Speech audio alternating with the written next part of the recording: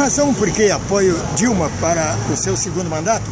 Porque eu conheci as administrações anteriores e por esse motivo, quem conhece sabe o que faz. Eu sei o que foi e sei o que está sendo agora. É o motivo de eu apoiar Dilma.